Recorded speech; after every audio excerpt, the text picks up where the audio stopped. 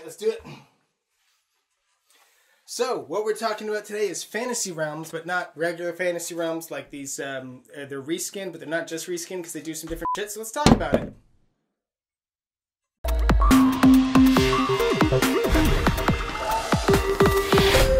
So WizKids sent us Marvel Remix and Star Trek missions, But they did not send us fantasy realms. but since they are essentially the same game with like slightly tweaked rules and different themes, we figured there's no reason to do two whole videos on. And it. actually, as of the time of this recording, they recently announced a Fantasy Realms Deluxe Edition, which I think, uh, like, reprints Hashtag the want. cards. Hashtag want reprints the cards and stuff, but I think it also adds the Cursed Hoard expansion in there.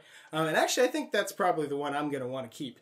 Yeah. So, spoilers on what we think about these two. If you don't know, Fantasy Realms, the system, which these are all based on, is essentially everyone is dealt a hand of cards, and you are basically draw one, discard one to build the best hand of cards possible. And when the game's over, you all lay your hands down, rummy style, and see like who has the most points in your hand. In Fantasy Realms, it was every card has a number, a color, a name, and a, a special ability at the bottom. So the number on the top left is how many points it, it is as itself, and then the special ability at the bottom will tell you what it gets points, additional points for. What It- combos for. yeah, what combos. It wants to be with these other cards, or it doesn't want to be with this card, or it wants to be with this specific named card, or it wants to be in a hand with all odd numbers, or something like that. And this adds, uh, both of them do add a little bit more to the scoring aspect. Yeah. It adds instead of just a, a like a type and a color and stuff, it adds like these little symbols off the side, which is almost like more types. This one and that one has the same, and this one is probably the worst in terms of Yeah. the symbology aspect.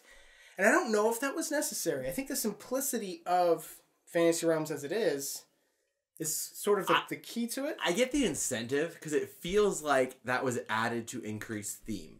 Because obviously, like, with Marvel, it's you're trying to build like you can try to build a Wakandan hand Or an X Men hand, or yeah, the, the more hand. of this thing you have, you know, uh, like Hulk goes really well against Abomination. And They're both heroes, which is their type, but they're also both radiation or whatever, yeah, right? Well, Abomination's not a hero; he's a villain. But you know what I mean. but still, like there's uh, very thematic on types. Same with Star Trek, where you have things like you know, are they Federation? Are they Klingon? Are they Romulan? But then you also have like rank. So there's like command, engineer, Civilian. civilian. Uh, you can have like hologram type, hostile type. Uh, there's races on here. So there's there's things like that that they added a lot of variability that to me almost made it feel like you were trying to get a very specific hand. Yeah, and and the Star Trek one, they don't have a base cost in the top left, so you will. I mean, unless you have like the perfect hand, it's very possible to have uh, cards that just don't score anything. Yeah. But I mean, they are used to score other cards, but otherwise they themselves won't count for Yeah, essentially points. the Star Trek is all combos. You only score points based on the combos, whereas the other versions have base costs and then you can combo Base- for more points. base points. Yeah. Base points, yeah. Um, but both of these have two decks instead of just the one. Now I think again, I haven't played the Cursed Hoard expansion, which I know has. I think it has an, a separate little deck. So this might be coming from that. But right off the bat, I don't really see it to be a huge necessity. Like I get that like you for almost the Marvel one almost makes a little bit more sense cuz it's like the villains are they're worth more points but they have more negative stuff at the bottom and these missions are they, I guess they give you more points in total but So yeah, with the the Star Trek because everything is based on combos, a lot of your combos are based on your missions. Mm-hmm. But that also means that like you could get missions that just like you'll never complete.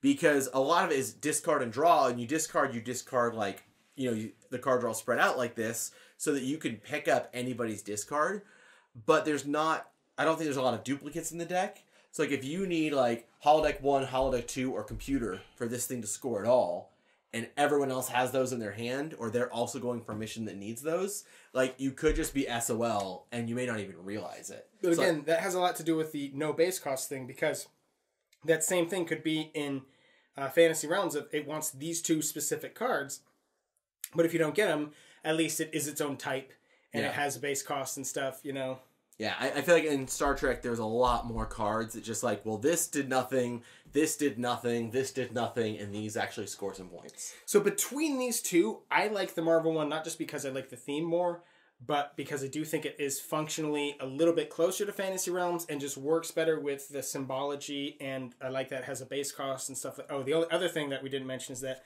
some cards can transform, like Hulk or Jean Grey can are Yeah. like double double sided. They can start like this and flip over like that later on if you get the trigger effect at the bottom. Um, so I do like the Marvel one better than the Star Trek one out of these two, but I still think original Fantasy Realms is the best. Yeah, I haven't played original Fantasy Realms. I, I appreciate the theming of the Star Trek one. I feel like we're seeing a lot more Marvel games right now. So a Star Trek themed game like just attracts me a little more because that's just another Marvel game. I think it's kind of getting to be the new zombies. Like it's Yeah. it's kind of played out at this point. Yeah. But I think the game the system for this game is is significantly better. The Um, I I think overall though, none of them because they're so they're they're still based on the same Fantasy Realms things. I don't think you should have more than one. Oh no, definitely not. I think if you have like get the like it's not even get the theme that works best for you. Well, I mean, it, because even if Star Trek's your favorite theme, I I think, think, it's, it's, kind of the, the worst implemented, or least good. We'll be positive about it. yeah. Well, like- because I mean, it's still I like the the overall way the game works. You know, it's just Yeah, but the Yeah. games all work the same, where it's the same mechanic of draw one, discard one. Uh, and that's my other complaint with the system, is that because game end is triggered on the amount of cards discarded. So if people are just cycling through the cards that are already discarded, the game can take longer. But if you're drawing from the deck, the game's going to go really quick. And depending on what someone's burning for, like you may get only five turns in the whole, like only five turns to try to build the best hand possible, which to me didn't feel like enough.